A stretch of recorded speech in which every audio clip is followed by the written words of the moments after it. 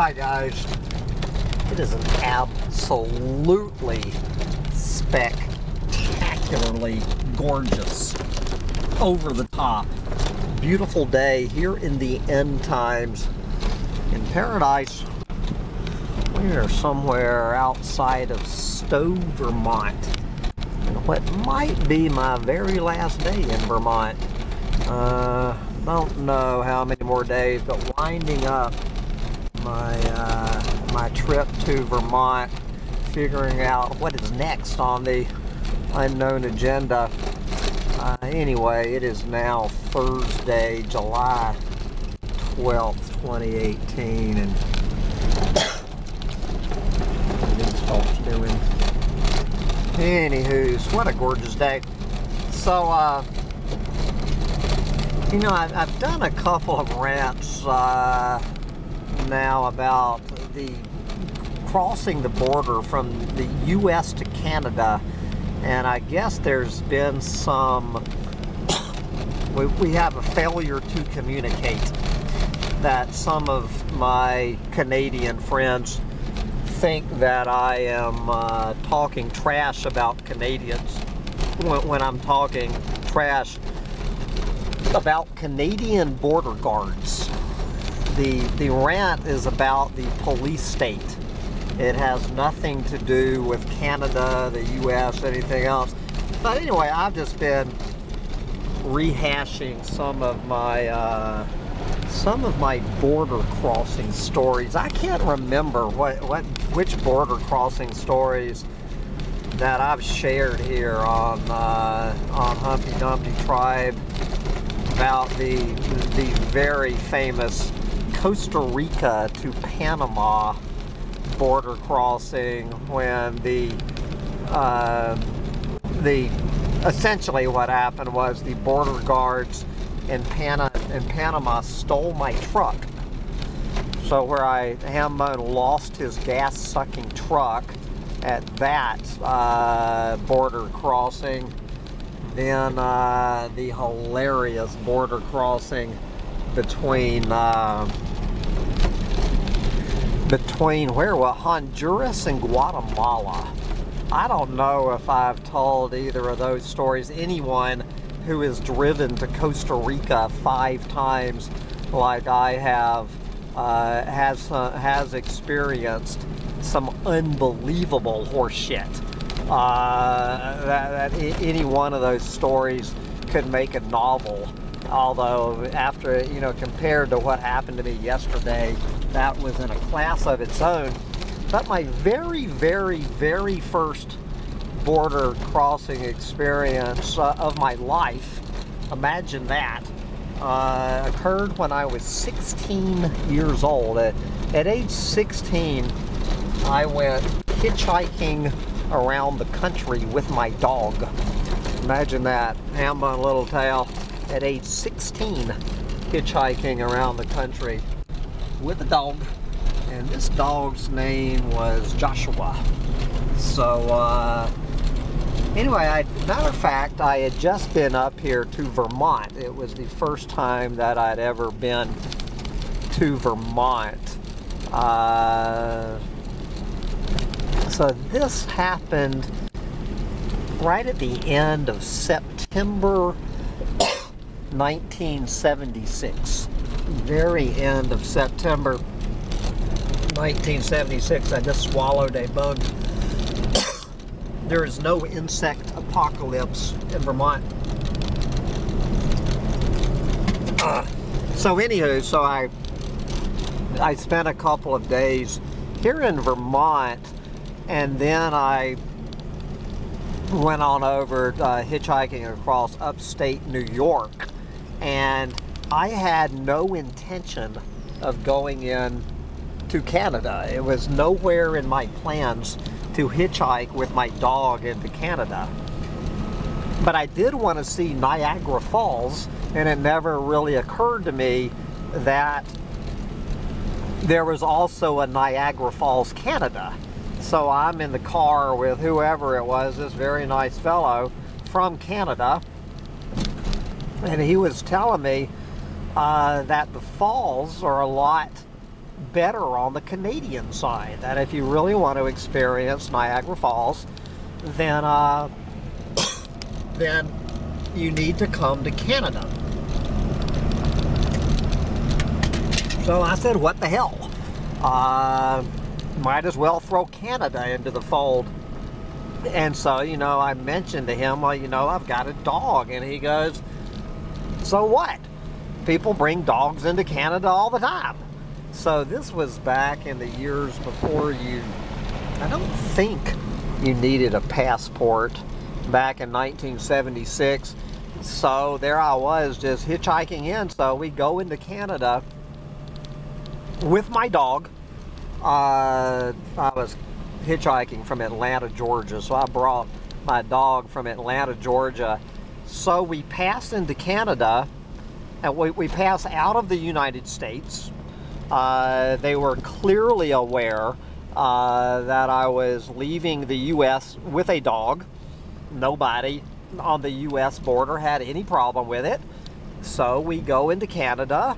It takes, as it uh, up until yesterday, every time I have ever been to Canada has taken about one minute. So we go up there and the, you know, they look in and do their little thing.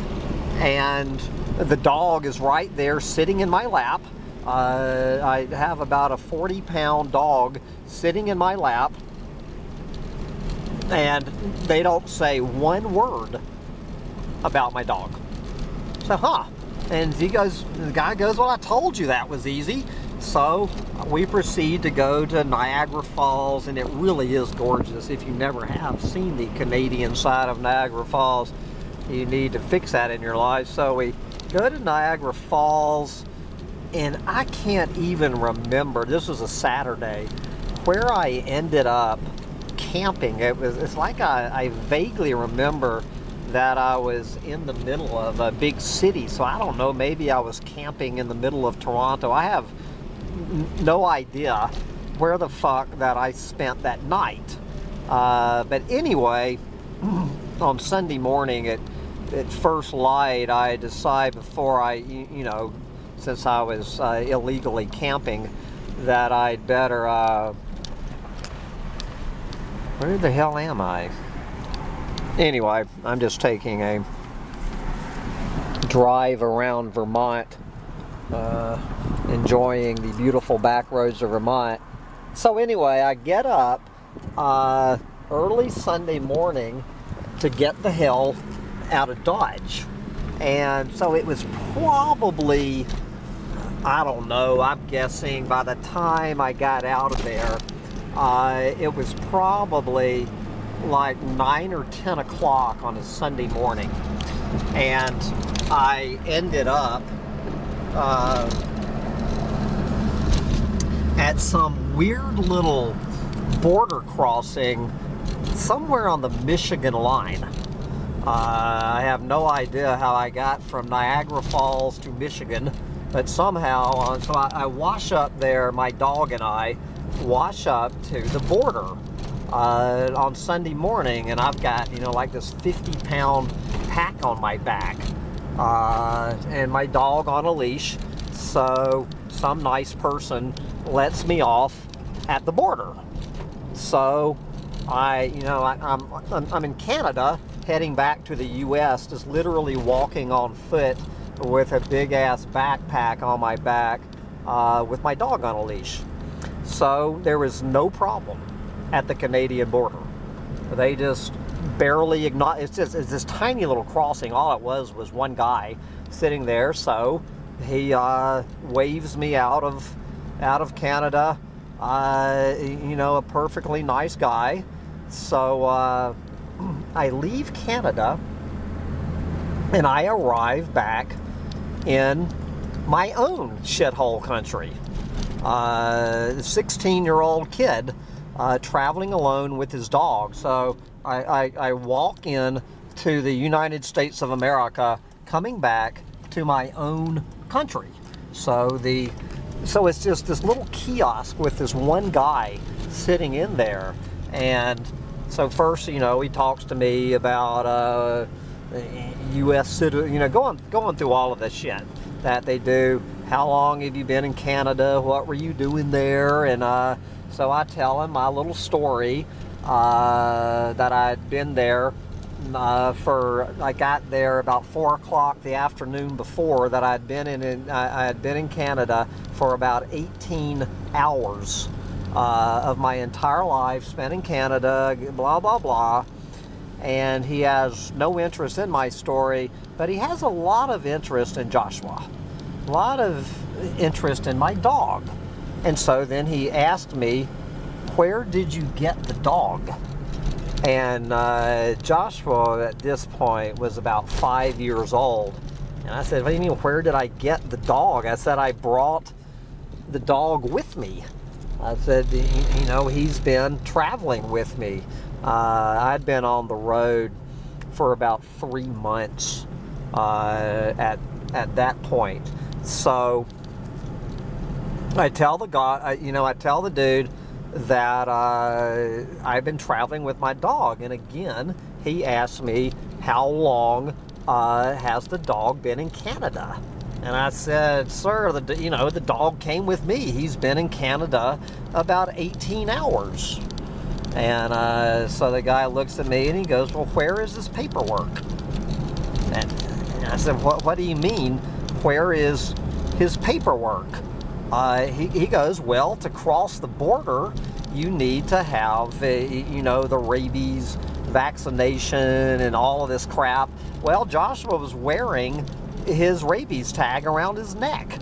So I, said, I, I, said, yeah, my dog, uh, I said, here is his rabies vaccination. And it clearly showed that my dog had been uh, vaccinated for rabies in the year 1976.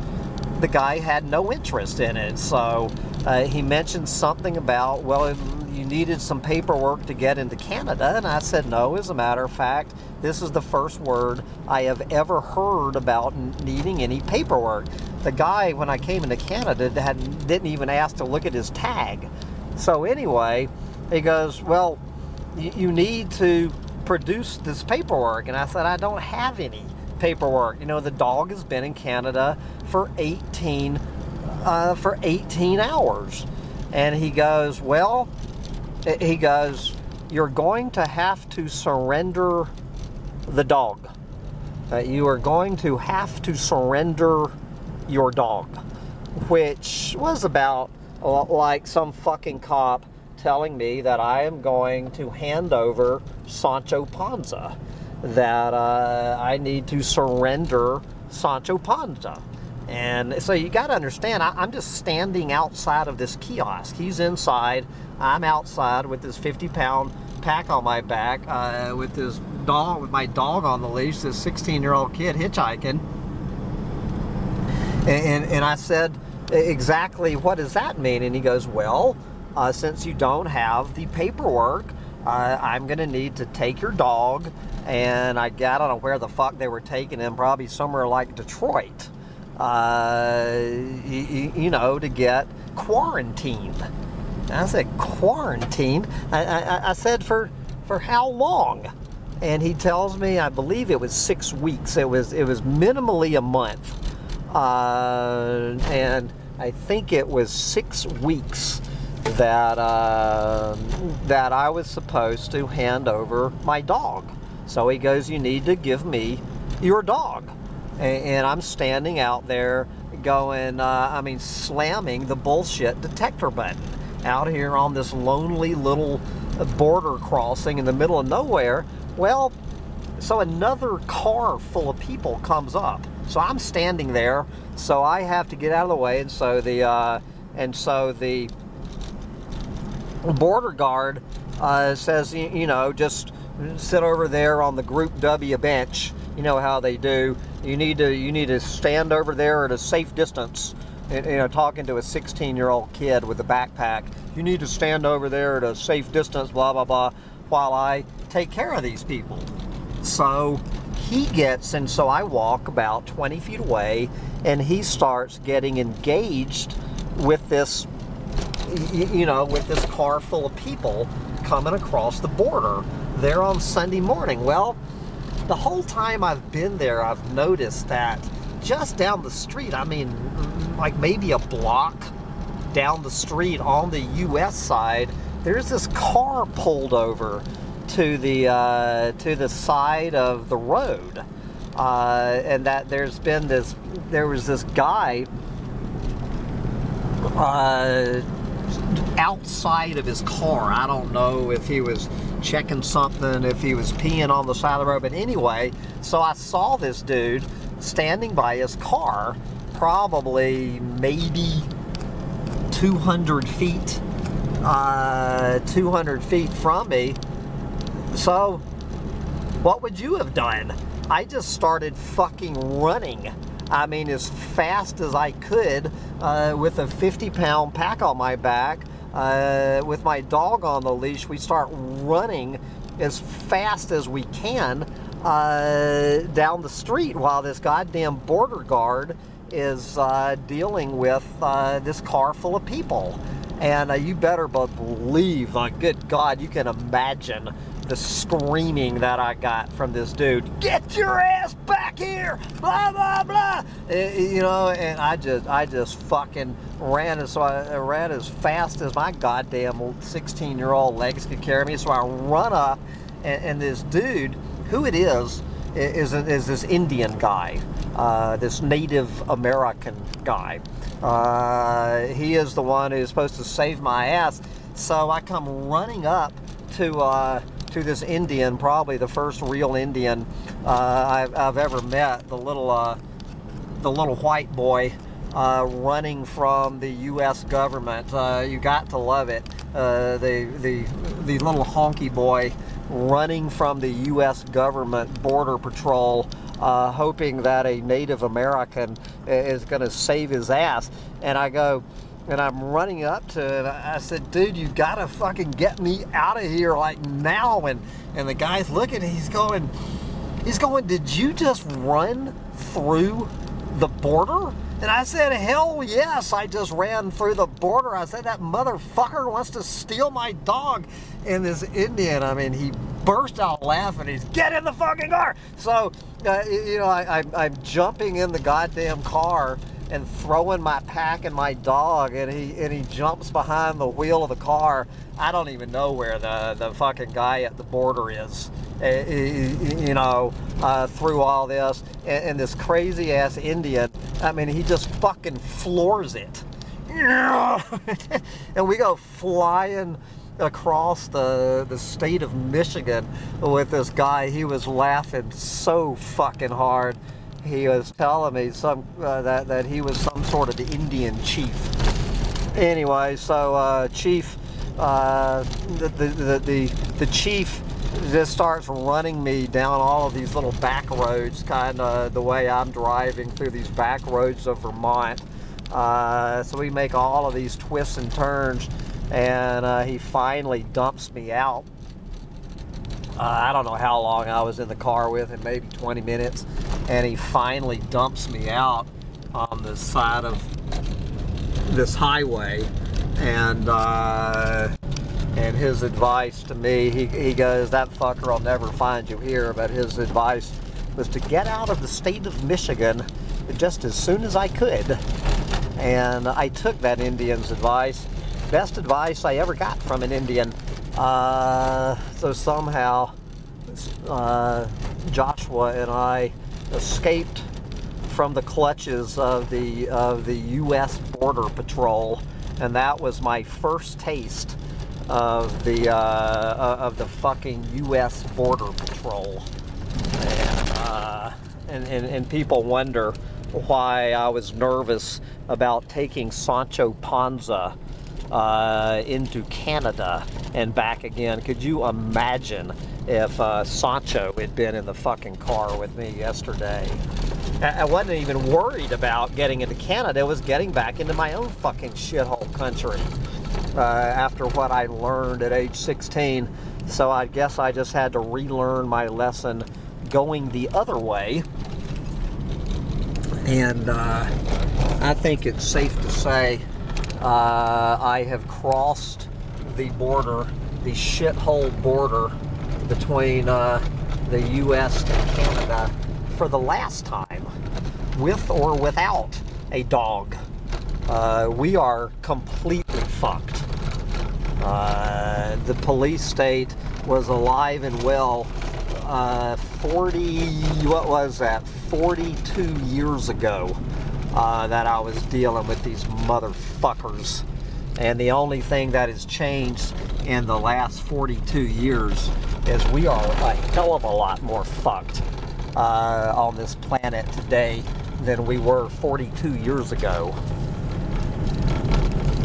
So I'm just gonna wrap up this little this little tale and uh, someday I will tell some other tales about some of my Latin American border crossings. Good God Almighty. We're gonna go hiking in the forest now. You ready to go hiking in the forest? Bye guys.